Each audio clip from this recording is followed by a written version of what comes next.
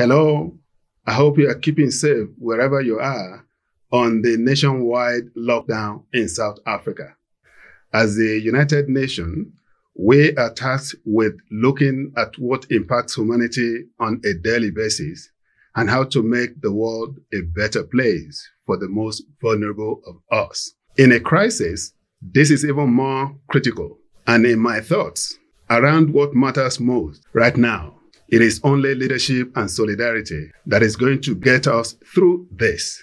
The president of South Africa has shown leadership in making the decisions he has made for the country's safety. It is our own turn now, yours and mine, to take that leadership and lead with solidarity. Leadership is about thinking before acting, setting an example for others. Solidarity is ensuring that we do things for the benefit of all, not just for ourselves or only a few. In the crisis we are facing now, we are only as safe as the sickest person in our country, continent, and the world. This disease does not understand race, gender, age, wealth, borders, and even status. It does not conform to humanity's sense of hierarchy, but it does attack the most vulnerable of us all and those who are uninformed and unaware. Based on this, today, I want to talk about fake news and the impact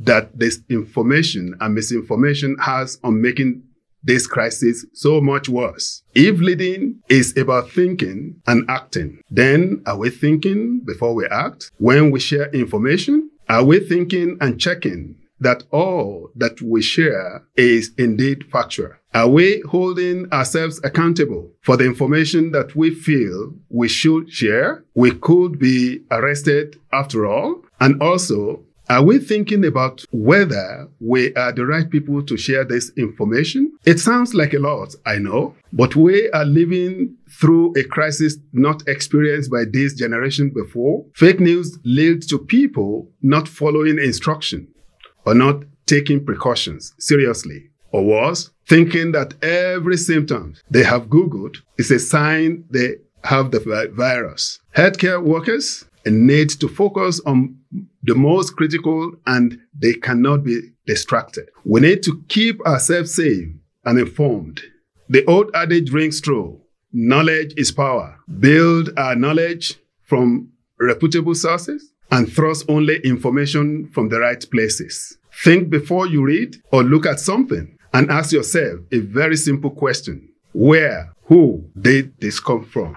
I am Dr. Ayodele Odusola from the United Nations Development Program in South Africa. Let's spread facts, not fear.